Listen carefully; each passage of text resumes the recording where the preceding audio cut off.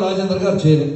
ఈసారి అవకాశం మనం ఎందుకు ఇవ్వాలి? ఈటల రాజేందర్ నేను అడుగుతున్నాను ఇలా అన్న హరీష్ అన్న కూడా ఇప్పుడే ఒక కొత్త న్యూస్ చెప్తున్నా హరీష్ అన్నకు తెలియదు. హరీష్ అన్న కూడా తెలియదు. హరీష్ అన్న కూడా చెప్తా ఉన్నా. మొన్న హైదరాబాద్లో నేను ఉన్నప్పుడు దుబ్బాక నుంచి నన్ను ఒక పెద్ద మనిషి కలిసిండు.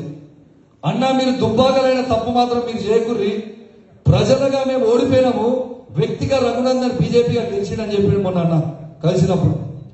అంటే దాని అర్థం ఏంటంటే ఇలా దుబ్బాకల పార్టీ అయిన రఘునందన్ రావుని గెలిపించుకొని ఇలా పది నెలల నుంచి దుబ్బాకల రఘునందన్ రావు ఒక్క లక్ష రూపాయల రోడ్డు కూడా ఓపియలేని పరిస్థితి ఉన్నది. మనకు అవసరమా అది? మనకు అవసరమా?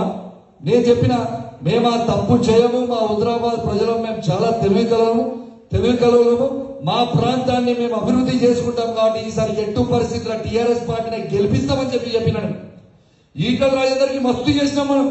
పద్దెనిమిది సంవత్సరాలుగా ఎమ్మెల్యేగా ఓట్లేసి గెలిపించినాం ఏడు సంవత్సరాలుగా మంత్రిగా గెలిపించి అవకాశం ఇచ్చినాం అందించినాం ఆయన అన్ని అయిపోయాడు. ఇక మనం బాగుపడదాం ఇప్పుడు.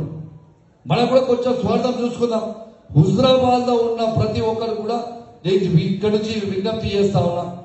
కంపల్సరీ ఈసారి టిఆర్ఎస్ పార్టీకి ఓటేసి మనం అక్కడ గెలిపించాల్సిన అవసరం మనకు అందరికీ ఉందని చెప్పి సందర్భంగా తెలియజేస్తా ఉన్నాను. ఇలా ఈటల రాజేందర్ గారు ఈటల రాజేందర్ గారు కూర్చొని కూర్చొని నాకు కాలు వేయినట్టు ఒక రోజు ఇన్ని రోజులు ఒక రోజు వాళ్ళ భార్య నాకు ఒప్ప నాకు చక్కెర వచ్చి పడిపోయినా అంటుంది. ఎందుకు ఈ యాక్టింగ్లు చేసాడు ఇన్ని రోజులు బండి సంజయ్ ఇట్లనే యాక్టింగ్లు చేసి బండి సంజయ్ గెలిచిండు.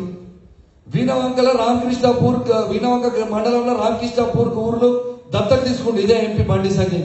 పది లక్షల రూపాయలు కదా ఊరు ముఖం కూడా చూడలే ఇయ్యాలి దాకా బండి సంజయ్. మళ్ళీ సేమ్ అదే యాక్టింగ్ ఇప్పుడు ఈటల రాజేందర్ చేస్తుండు.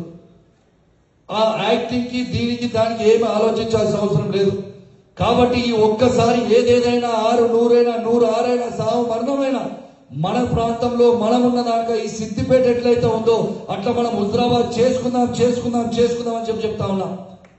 కాబట్టి మీరందరూ కూడా ఏ తప్పు చేయకుండా మనము భారీ మెజారిటీతో సరే గెలవడం ఎట్లా గెలుస్తున్నాం.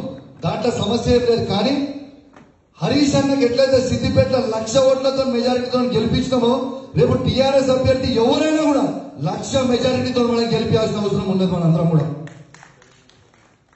కాబట్టి ఇలా అందరూ కూడా మీరు టీఆర్ఎస్ పార్టీకి అవకాశం ఇవ్వాలని తెలియజేస్తూ సెలవు తీసుకుంటా ఉన్నాను. జై తెలంగాణ.